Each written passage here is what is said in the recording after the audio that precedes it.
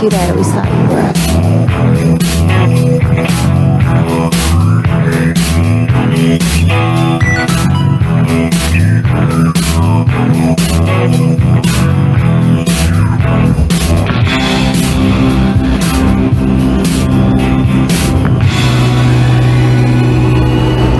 Oh, I bet you'd like that, wouldn't you, you perv?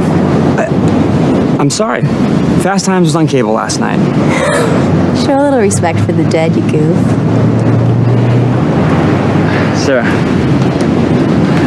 This isn't healthy, is it? Oh, I don't know.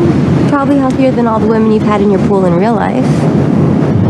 Then again, skipping the guys' weekend to spend time with your dead wife. Probably not so healthy.